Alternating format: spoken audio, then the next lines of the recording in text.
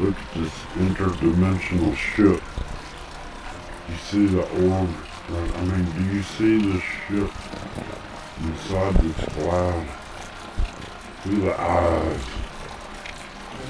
Is that not crazy?